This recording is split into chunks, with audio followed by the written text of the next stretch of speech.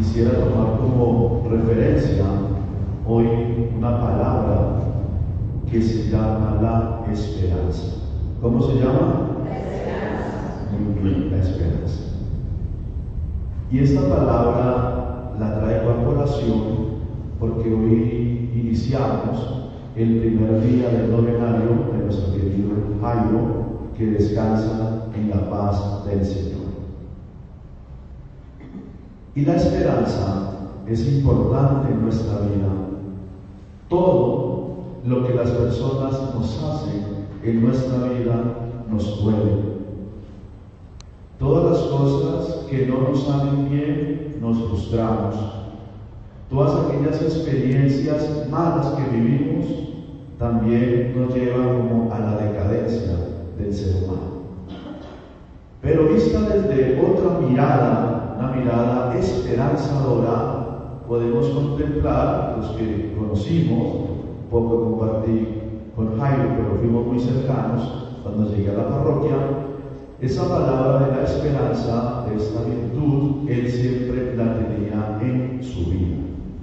Y su esperanza le permitió a él acercarse de manera sencilla, pero de manera muy, pero muy humilde a Jesús a través del amor tan profundo que le tenía a nuestra Madre María y también a el amado Jesús.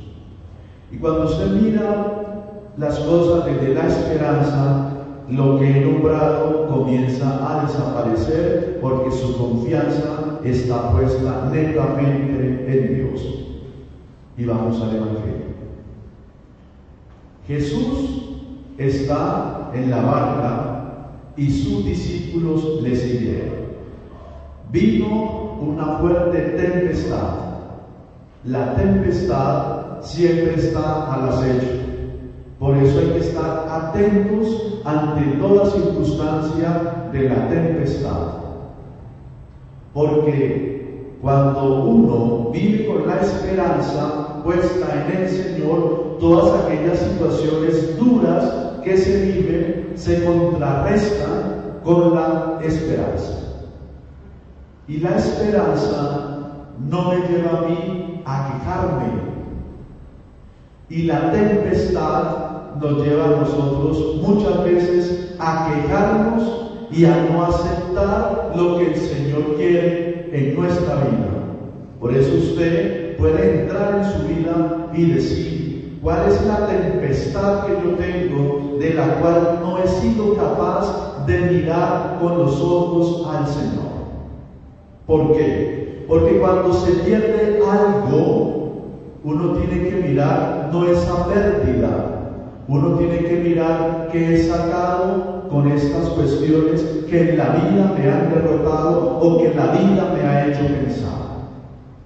Así que la muerte de nuestro hermano Jairo, ¿cuál es el significado? El significado más profundo es que se pueda contemplar lo que él rezaba, creer en un Dios de vivos y en un Dios resucitado. Ahí está la esperanza la cual nosotros estamos hablando. Y voy a decir un vertido.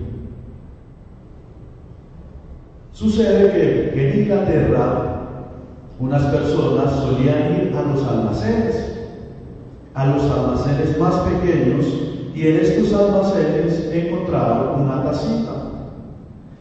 Y cuando cogió la tacita, estas personas la tacita le dijo que ella era extraordinaria, pero que le iba a contar el suceso para llegar a ese momento. Entonces sucede lo siguiente. Para que llegue a la elaboración de la taza, pues hay que pasar por el barro, hay que meterle a un horno, hay que pintarlo. Y cada vez que esta tacita la metían para transformarla, ella se quejaba. Y el artesano le decía solamente, aguante. ¿Cómo le decía? Y muchos tenemos que tomar la pastilla del aguante para ser fuertes en la vida. Y así entonces, cuando la estaban pintando, sentía que se ahogaba. Y le decía, suélteme que quiero ser libre. Y la persona le dice, aguante. Ya cuando estaba ya elaborada, le pasaba, le tocaba pasar por el último horno y ya sentía que se desesperaba. Su artesano le decía, aguante. Así entonces que esta pareja que comió estas cosas, el esposo que trabajaba, llegó muy triste a la casa porque llegó cansado y decía, este trabajo tan duro que tengo, quisiera acostarme a dormir para descansar. Llegaba la niña a andar con él y entonces le decía, quítese de acá. Llegaba la esposa a consentirlo y también la alejaba. Y por todo se quejaba. Una noche se quedó dormido y en el dormir soñó pesadillas como muchos pasos a veces que no dormimos, entonces vienen pesadillas. Y le dijo en ese sueño, ya no tendrás que sufrir, ya otra persona que trabajaba donde usted estaba, usted ya fue reemplazado. Su esposa, tan bonita y tan elegante, otro hombre ya la cogió. Su niña, a la cual usted negaba el cariño, el padrastro la cogió para contemplarla como su propia hija. Se despertó este hombre del sueño y dijo, muero, muero, no puede ser capaz de esta vida que muera. Y la esposa le dice, ¿te pasa algo? Le dice, la vida me volvió a dar una oportunidad de poder ser feliz con lo que yo tengo. Y eso pasa en la vida que muchas veces nos quejamos de todo lo que Dios nos ha regalado y cuando Dios nos quita lo que nos ha dado, nosotros ahí lo extrañamos. Por eso, queridos hermanos, las tormentas de quejarse uno no está bien. ¿Por qué? Porque uno se vuelve una persona pesimista. Y cuando uno es pesimista, todo lo mira oscuro. Seguimos con el Evangelio. Ellos Estaban asustados, pero el maestro dormía a Jesús y le dice, maestro, maestro, despierta, despierta. Sálvanos que perecemos. Y el Señor le dice, ¿por qué tienen miedo? ¿Por qué hombres de poca fe? Eso nos dice hoy el Señor. Cada uno estamos en una barca y en la barca que navegamos, esa barca tiene que sufrir y tiene que pasar por muchas tormentas, que es nuestra propia vida. Pero si usted se deja aniquilar, acabar y se queda ahí estático,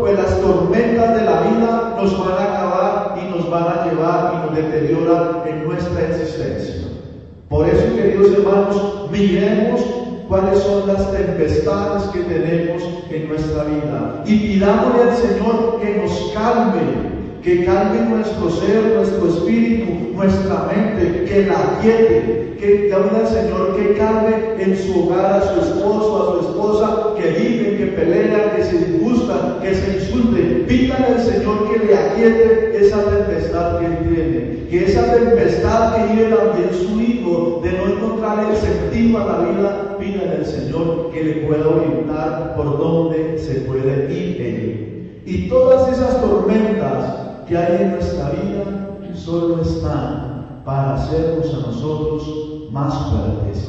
Porque después de cada tormenta uno se fortalece, pero si su esperanza está puesta en el Señor, pidámosle a Dios que aquiete nuestra mente y esos pensamientos que a veces nos atormentan y nos colocan demasiadamente tristes, para que Dios en su divina misericordia nos venga con su ayuda y en la barca en la cual usted se encuentra, piense que siempre está Dios. Esos problemas que tiene, presénteselos al Señor. Esas situaciones que vivimos, a veces tan crudas, tan nefastas, presénteselas al Señor, que Él es capaz de aquietar como hizo con las tormentas y las olas que estaban allí, que querían acabar a los discípulos o por lo menos se llevaron un buen susto. Por eso hay que tener la fe puesta en el Señor, porque la fe es lo más grande y lo más majestuoso que un cristiano puede tener. Pero cuando usted no tiene fe, y o su fe es tan frágil